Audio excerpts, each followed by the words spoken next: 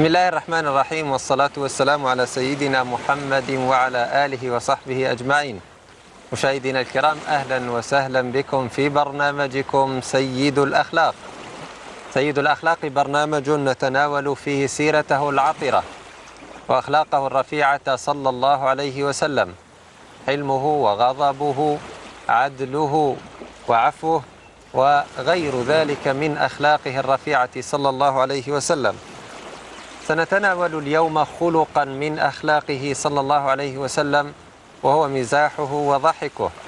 وقد قال فيه ربنا تبارك وتعالى في محكم تنزيله جل في علاه بعد أعوذ بالله من الشيطان الرجيم ولو كنت فظا غليظ القلب لانفضوا من حولك فلم يكن صلى الله عليه وسلم بفظ ولا غليظ ولا صخاب ولا فحاش ولا فيه صفة من الصفات التي لا ينبغي أن تكون في محمد صلى الله عليه وسلم.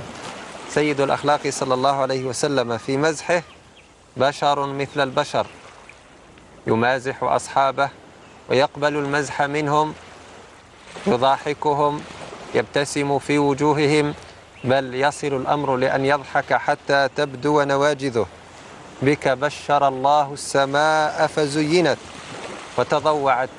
مسكا بك الغبراء وبدا محياك الذي قسماته حق وغرته هدى وحياء وعليه من نور النبوة رونق ومن الخليل وهديه سيماء. وهذا كعب بن مالك رضي الله تبارك وتعالى عنه يخبرنا عن هذا الوجه الذي هو موطن هذه الابتسامة وموطن هذا الضحك. فيقول عنه صلى الله عليه وسلم كان صلى الله عليه وسلم إذا سر إذا سر إذا دخل السرور قلبه استنار وجهه كأنه قطعة قمر. صلى الله عليه وسلم. بل والله له أحسن من القمر. وقد كان صلى الله عليه وسلم في حالاته وجل حالاته مبتسما لذا هو باسم الثغر. وقد كان جل ضحكه التبسم. فعن عبد الله بن الحارث بن جزء رضي الله عنه أنه قال ما رأيت أحدا أكثر تبسما من رسول الله صلى الله عليه وسلم. في غمرة الحروب في غمرة الصراعات وفي غمرة المعاناة التي في غمرة المعاناة التي يتخبط فيها أصحابه. ويتخبط فيها صلى الله عليه وسلم وفي سبيل نشر هذه الدعوة مع كيد الأعداء وتربصهم به وإلحاق الأذى به وبأهله وأصحابه مع كل ما يعانيه لم يمنحه ذلك من أن يكون مبتسما. فبالله عليك أي هم أي هم نزل بك هو أكبر من هم رسول الله صلى الله عليه وسلم. وقد كان الصحابة رضي الله عنهم يقولون كنا إذا نزلت بنا مصيبة نسأل الله العافية تذكرنا مصابنا برسول الله صلى الله عليه وسلم. وهو الذي أوذي في الطائف وهو الذي جحشت ركبته وكسرت رباعيته ووضع وضع سلا جزور على كتفيه الشريفة صلى الله عليه وسلم. ومع ذلك لم يمنحه ذلك من أن يكون باسم الثغر. واثقا واثقا بأن الفرج من عند الله بأن العون من عند الله وبأن الابتسامة تحل كل المعضلات. إذا كانت ابتسامة الواثق بقدرة الله تبارك وتعالى. بل لمس ذلك أصحابه رضي الله عنهم. فهذا جرير بن عبد الله البجلي رضي الله عنه يحدثنا فيقول ما رآني رسول الله صلى الله عليه وسلم إلا تبسم في وجهي. ما رآني إلا تبسم في وجهي. بل يعلم أصحابه كيف يبتسمون. ويخبرنا أن الابتسامة في وجه أخيك صدقة. ابتسامتك في وجه أخيك صدقة. ثم فوق هذا كما يقول أحد شيوخنا ليست الابتسامة أو ليست الأسنان عورة. أسناننا ليست عورة فلما نخفيها؟ بل حتى عند أطباء الأعصاب وغير ذلك تجد أن عبوس الوجه يحتاج إلى أكثر من ستين عضلة بينما الابتسامة لا تكلف الوجه إلا ما يقل عن عشرين عضلة. فكيف تبذل جهدا في سبيل أن تغضب؟ وتترك الجهد الأقل في سبيل أن تبتسم. ما كان الرفق في شيء إلا زانه وما نزع من شيء إلا شانه وما كان الرفق إلا مقرونا بالابتسامة والضحك. وما كان الأمر الخشن الغليظ إلا مقرونا بعباسة الوجه. نسأل الله العافية. فهذا رسول الله صلى الله عليه وسلم يمازح أصحابه. ويدخل السرور على قلوبهم. وأفضل الأعمال عند الله سرور تدخله على قلب مؤمن. لكن كان يمازح أصحابه لكن لا يقول إلا حقا. يمازح أصحابه لكن لا يقول إلا صدقا. فهذا أنس بن مالك رضي الله عنه يخبرنا أن رجلا استحمل رسول الله صلى الله عليه وسلم. يعني طلب أن يعطيه ناقة دابة ما ليحمل نفسه ومتاعه عليها. فقال له رسول الله صلى الله عليه وسلم إني حاملك على ولدي الناقة. فقال يا رسول الله ما أصنع بولد الناقة؟ ولد صغير لا يستطيع أن يحمل نفسه فضلا عن أن يحمل غيره. فقال رسول الله صلى الله عليه وسلم وهل تلد الإبل إلا النوق؟ وهل هذا الإبل الذي أصبح كبيرا وله من الطاقة ما له وله من القدرة ما له. هل هو إلا ولد الناقة فكان صلى الله عليه وسلم يمازح أصحابه. بل هذه عجوز كما يروي لنا الإمام الترمذي ترد على رسول الله صلى الله عليه وسلم وتقول له ادعو الله لي أن يدخلني الجنة. لقد كان هدفهم وكان همهم وكان شغلهم الشاغل هو الطريق التي يصلون بها إلى الله. وهذه عجوز تأتي رسول الله صلى الله عليه وسلم فتقول له ادعو الله لي أن يدخلني الجنة. لقد كان هم أصحابه وشغلهم الشاغل وهدفهم في هذه الحياة كيف يصلون إلى الله بمرضاته. كيف يصلون عبر الطريق التي اختارها الله إلى جنته. كيف يكونون من أهل الجنة. فهذه العجوز تسأل رسول الله صلى الله عليه وسلم وكان مجلسه مفتوحا للعجوز وللطفل وللشاب ولغير أولئك من بني جلدته صلى الله عليه وسلم. فيقول لها النبي صلى الله عليه وسلم يا أم فلان إن الجنة لا تدخلها عجوز. فولت تبكي فقال أخبروها أخبروها أنها لا تدخلها وهي عجوز. أما قرأت قول الله تبارك وتعالى إن الله تعالى يقول إنا أنشأناهن إنشاء فجعلناهن أبكارا عربا أترابا. أما قرأت هذه العجوز أن الجنة يدخلها الناس شبابا وأنها ستدخل الجنة إن شاء الله شابة مكتملة أعضائها لا عجوزا وقد تسلل الشيب إلى شعرها واحدودب ظهرها. فالجنة يدخلها الناس ليروا أحب ما يمكن أن يروه ومن أجمل ما يمكن أن يروه أن يروا حالهم على أحسن حال. كل هذا المزح وكل هذا الضحك لا ينبغي أن يخالف فيه رضا ربه.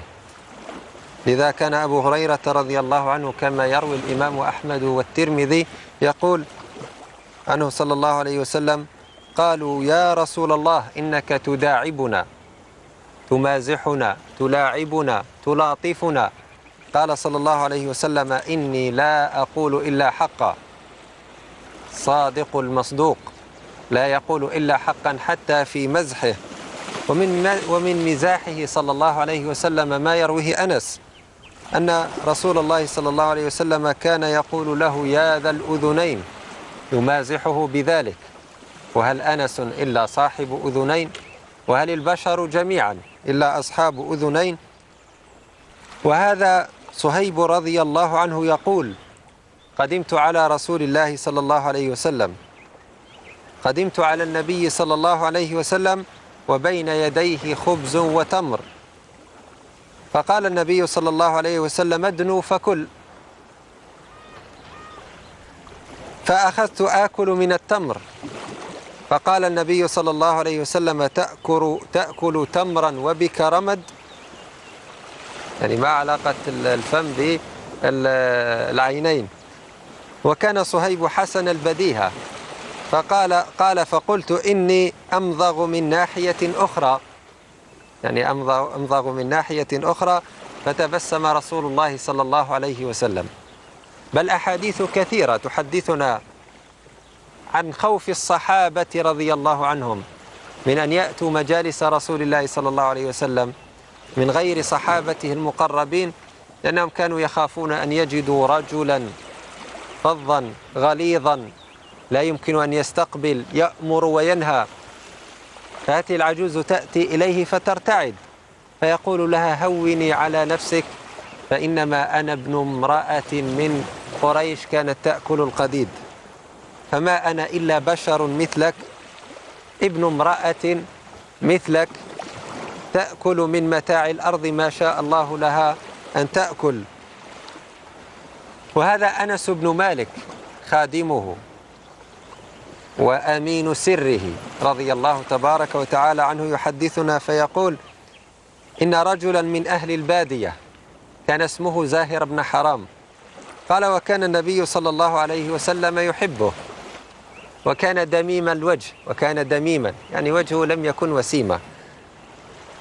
فأتاه النبي صلى الله عليه وسلم يوما وهو يبيع متاعه في السوق.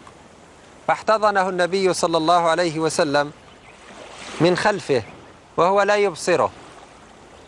فاحتضنه النبي صلى الله عليه وسلم من خلفه وهو لا يبصره فقال أرسلني من هذا؟ فالتفت فعرف أن النبي صلى الله عليه وسلم فجعل لا يألو ما ألزق ظهره بصدر النبي صلى الله عليه وسلم حين عرفه. حين علم هذا الصحابي أن من يمسكه من خلف ظهره هو محمد صلى الله عليه وسلم وعلم أنه يمازحه ويلاطفه فتعمد أن يقترب أكثر من رسول الله صلى الله عليه وسلم. وجعل يتظاهر أنه لا يعرف من يمسكه من خلف ظهره. ورسول الله صلى الله عليه وسلم يقول من يشتري العبد من يشتري هذا العبد مني وكلنا عبد لله.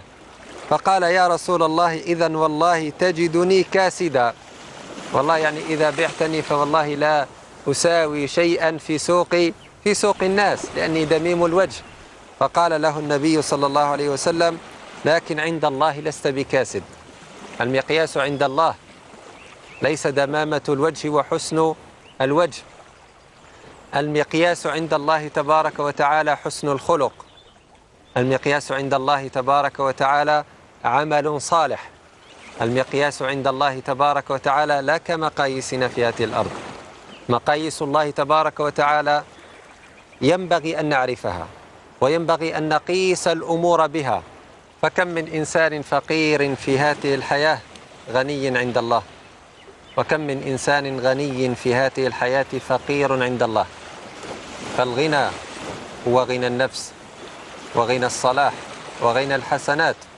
لذا كان صلى الله عليه وسلم يعلم أصحابه حقيقة هذه المعاني فيقول لصاحبه لست عند الله كاسد لا تملك في هذه الحياة الدنيا متاعا. لكن لك في تلك الدار كل المتاع. قد سئل ابن عمر لأن, لأن التساؤل كان مطروحا حتى عند الصحابة. أيمزح الصحابة؟ أيمزح النبي صلى الله عليه وسلم؟ ونحن نقول هذا الكلام لأولئك الذين جعلوا العبادة عبوسا قمطريرا.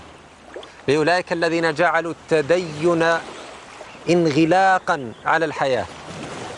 كان صلى الله عليه وسلم وهو أتقى الناس وأصلح الناس وأخشى الناس يمازح أصحابه ويحدث الناس بحديثهم يخالط الصبيان ويخالط الصغار والكبار يخالط العبيد والعمال ويخالط الرؤساء والأمراء كان صلى الله عليه وسلم يعيش مثل الناس يسأل عن ما في الناس فيسمع أحسن ما فيهم فيشجعه ويسمع أسوأ ما فيهم يهونه ويوهنه. لذا سئل ابن عمر من التابعين فقيل له هل كان أصحاب رسول الله صلى الله عليه وسلم يضحكون؟ قال نعم والإيمان في قلوبهم أعظم. بل ضحكوا من قوة الإيمان والإيمان في قلوبهم أعظم من الجبل. وقال بلال بن سعد أدركتهم يضحك بعضهم إلى بعض فإذا كان الليل لا كانوا رهبانا يضحكون فإذا جاء الليل كانوا رهبانا. وهذا أبو ذر رضي الله عنه يحدثنا حديث رسول الله صلى الله عليه وسلم. فيقول إني لأعلم آخر أهل الجنة دخولا وآخر أهل النار خروجا منها. رجل يؤتى به يوم القيامة فيقال اعرضوا عليه صغار ذنوبه وارفعوا عنه كبارها فيفرح هذا البشر. أن الله تبارك وتعالى سيحاسبه على صغار الذنوب ويعفو عن كبارها. فتعرض عليه صغار ذنوبه فيقال عملت يوم كذا وكذا كذا وكذا وعملت يوم كذا وكذا كذا وكذا. فيقول نعم لا يستطيع أن ينكر وهو مشفق من كبار ذنوبه أن تعرض عليه. فيقال له فإن لك مكان كل سيئة حسنة. فيقول رب قد عملت أشياء لا أراها هنا فلقد رأيت رسول الله صلى الله عليه وسلم ضحك حتى بدت نواجذه يعني أذراسه من طمع هذا الإنسان في رحمة الله تبارك وتعالى. ويخبرنا صحابي آخر وهو جرير فيقول ما حجبني رسول الله صلى الله عليه وسلم منذ أسلمت ولا رآني إلا تبسم في وجهي. ونعود إلى أنس بن مالك الذي يحدثنا. عن رسول الله صلى الله عليه وسلم فيقول كان رسول الله صلى الله عليه وسلم أحسن الناس خلقا فأرسلني يوما لحاجة. والله لا فقلت والله لا أذهب وفي نفسي أن أذهب لما أمرني به نبي الله صلى الله عليه وسلم. فخرجت حتى أمر على صبيان وهم يلعبون في السوق. فإذا رسول الله صلى الله عليه وسلم وقد قبض بقفايا من ورائي أنس بن مالك كان خادم رسول الله صلى الله عليه وسلم. كان ابن تسع عشر سنوات يعني غلام صغير. قال فنظرت إليه وهو يضحك فقال يا أنيس تلطيفا ملاطفة أذهبت حيث أمرتك؟ قال قلت نعم أنا أذهب يا رسول الله. أنس أيضا كان ذكيا فقال نعم يا رسول الله سأذهب. وهذا الذي فهمه تابعو الصحابة رضي الله تبارك وتعالى عنهم. فهذا سفيان بن عيينة وما أدراك من هو؟ فيقول المزاح حجنة أي مستنكر. فقال سئل فقيل له المزاح هجنة يعني أي مستنكر؟ فقال بل هو سنة ولكن لمن يحسنه ويضعه في موضعه. المزاح سنة كان عليها صلى الله عليه وسلم. لكن لمن يحسنه ويضعه في موضعه. من غير تجريح من غير إلحاق أذى بالغير من غير تعد على حرمات الغير من غير كذب على الله أو رسوله من غير كذب لا يجوز.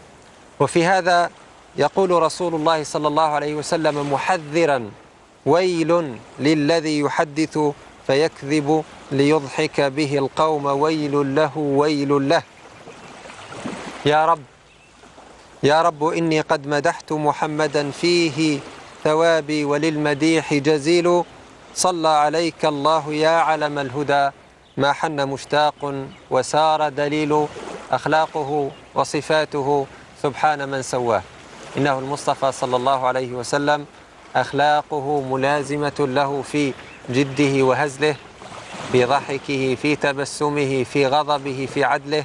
نسأل الله تبارك وتعالى أن يكرمنا بالأخلاق حتى نرتقي في مصاف أهل الأخلاق.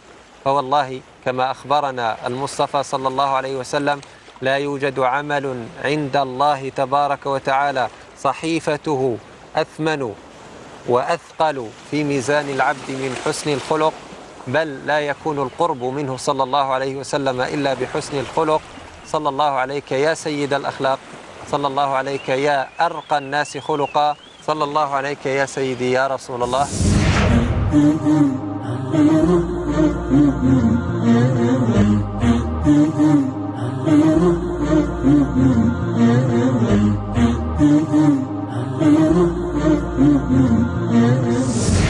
مشاهدينا الكرام أهلا وسهلا بكم في فقرتكم ومضات من سيرته صلى الله عليه وسلم.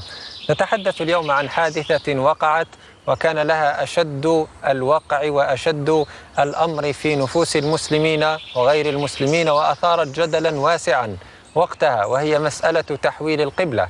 وذلك أن المسلمون أن المسلمين لما قدموا المدينة المنورة مكثوا يصلون إلى بيت المقدس بفلسطين ستة عشر شهرا أو سبعة عشر شهرا. وكان رسول الله صلى الله عليه وسلم يحب أن تتولى وأن يولي وجهه شطر بيت الله الحرام.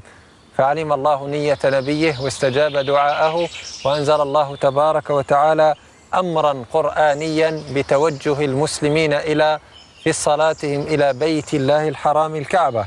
يقول سبحانه وتعالى قد نرى تقلب وجهك في السماء فلنولينك قبلة ترضاها فول وجهك شطر المسجد الحرام وحيثما كنتم فولوا وجوهكم شطرة. وكان بعض المسلمين قد ماتوا وشق ذلك على بعض إخوانهم فقالوا إنهم قد ماتوا ووددنا أنهم لو علموا ذلك قبل مماتهم وعلموا وفعلوا ذلك قبل أن نصرف عن بيت المقدس. فأنزل الله تبارك وتعالى وقد كانوا يسألون عن حكم صلاتهم. فأنزل الله تبارك وتعالى وما كان الله ليضيع إيمانكم إن الله بالناس لرؤوف رحيم. ومع هذا فقد شن اليهود عليهم من الله ما يستحقون شنوا حربا من الجدل على المسلمين. إثر تحول القبلة إذ قالوا لرسول الله صلى الله عليه وسلم يا محمد ما ولاك عن قبلتك عن قبلتك التي كنت عليها؟ وأنت تزعم أنك على ملة إبراهيم ودينه. ارجع إلى قبلتك التي كنت عليها نتبعك ونصدقك. فنزل قول الله تعالى سيقول السفهاء من الناس ما ولاهم عن قبلتهم التي كانوا عليها. قل لله المشرق والمغرب يهدي من يشاء إلى صراط مستقيم. وقال سبحانه أيضا ولله المشرق والمغرب فأينما تولوا فثم وجه الله. إن الله واسع عليم. وأنزل الله تبارك وتعالى آية أخرى يقول فيها ليس البر أن تولوا وجوهكم قبل المشرق والمغرب ولكن البر من آمن بالله واليوم الآخر والملائكة والكتاب والنبيين إلى آخر الآيات التي فندت زعم اليهود وبينت أن الله تبارك وتعالى يتصرف في دينه ويوجه نبيه كيفما شاء فالله سبحانه وتعالى هو رب الأمكنة والأزمنة ولقد كانت عودة المسلمين إلى الكعبة رجوعا إلى الأصل الذي بناه أبو الأنبياء إبراهيم على نبينا وعليه السلام. فتوجه المسلمون بعد ذلك إلى مكة في كل صلاتهم وكان تحويل القبلة في السنة الثانية للهجرة. وفي ذاك العام فرض الله تبارك وتعالى الصوم والزكاة نتعلم من خلال هذا أن اليهود قوم بهت وأنهم لا يزالون يفسدون ويسعون في الأرض فسادا. فلو بقي المسلمون على بيت المقدس لقالوا ما قالوا وعندما تحولوا إلى بيت الله الحرام قالوا ما قالوا. ثم لم لا ثم لما لم يجدوا ما يقنعون به الأحياء توجهوا إلى الأموات. وهذا ديدنهم نسأل الله أن يقينا شرهم. وأن يرجع بيت المقدس إلى رحاب المسلمين.